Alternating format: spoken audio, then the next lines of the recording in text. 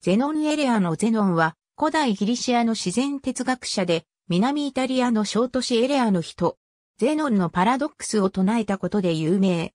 テレウタゴラスの子として生まれたが、養子縁組によって哲学者パルメニデスの子となった。それより生涯パルメニデスの弟子であり、同時に愛人でもあったという。エレアを愛していたため、学問の中心であるアテナイには移住せず、生涯を祖国で過ごした。政治活動家として命を落とした。その頃エレアを支配していた選手、ネアルコスを打倒しようとして、帰って捕まえられ、軽視させられたという。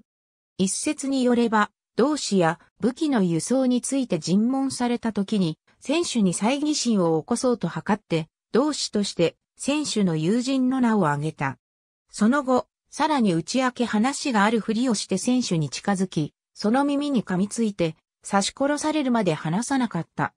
また別の一説によれば、他に共犯者がいるかとの選手の問いに対して、国家にあだをなす。あなたこそ反乱の首謀者であると言い放ち、自分の舌を噛み切って相手に吐きかけた。そこで市民たちは奮い立って選手に石を投げつけて殺してしまった。またある別の一説によれば、ゼノンは石臼の中に投げ込まれて撃ち殺された。プラトンの対話編、パルメニデスに、し、パルメニデスやソクラテスと一緒に登場させられた。ソクラテスやベリクレスもゼノンの講義を聞いたことがあるとされている。その他、プラトンはギリシア神話の地匠パラメーデースになぞらえて、彼をエレアのパラメーデースとして言及した。また、アリストテレスによって、弁証法、問答法の創始者と呼ばれた。アリストテレスによれば、質疑応答により知識を探求する方法は、このゼノンによって初めて発見された。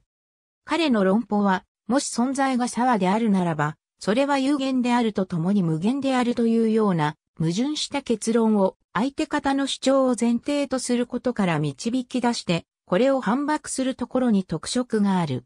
これらの論証は、パルメニデスの唯一不動の存在の考えを弁護する立場からなされている。この一と他の関係についての議論の中から有名なゼノンのパラドックスが提示された。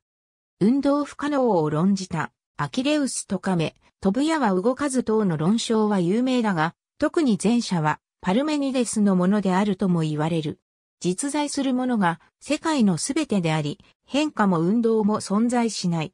これこそゼノンがパルメニデスから継承した命題であり、レウキッポスに影響を与えた。ゼノンの世界観とは以下の通りであったという。いくつかの世界が存在しており、空虚は存在しない。